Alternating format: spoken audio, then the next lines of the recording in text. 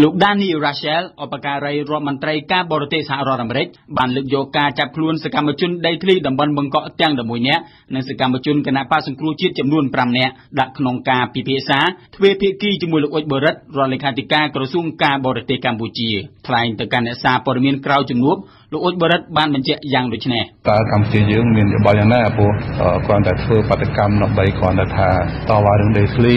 ហើយគាត់ធ្វើបាតកម្មក្នុងការតាទីមទាដែលថាបញ្ចេញមតិសេរីភាពរបស់ខ្លួននោះហើយមានបញ្ហាដល់ទៅថាជាប់គុកជាប់ច្បាប់អញ្ចឹងតើនេះជារូបភាពមួយដែលមិនសូវល្អទេសម្រាប់កម្ពុជាបញ្ហានេះគឺខ្ញុំបានបញ្ជូន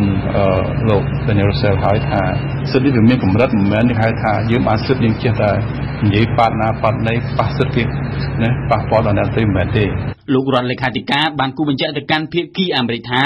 ការចាប់ខ្លួនសកម្មជនដីធ្លីនិងសកម្មជនគណៈបកសង្គ្រោះជាតិនោះគឺជាការអនុវត្តច្បាប់នៅកម្ពុជាព្រោះថា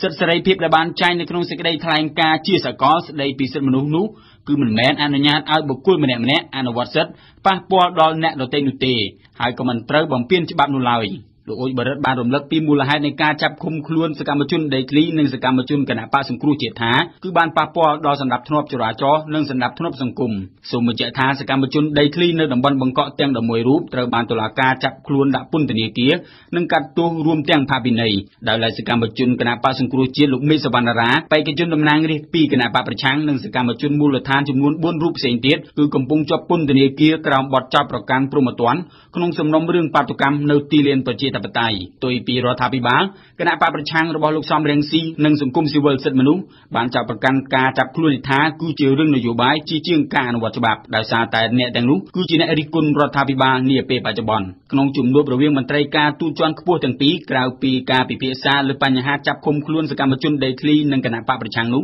ការពិភាក្សាស្ដីពីបញ្ហាពង្រឹងជញ្ជីងពាណិជ្ជកម្មរវាងអាមេរិកនិងកម្ពុជាការជំរុញឲ្យបង្កើតច្បាប់ការពារអ្នកវិនិយោគទុនបរទេសរួមទាំងការពង្រឹងវិស័យអប់រំក៏ត្រូវបានដាក់លើតុយកមកពិភាក្សាផងដែរ។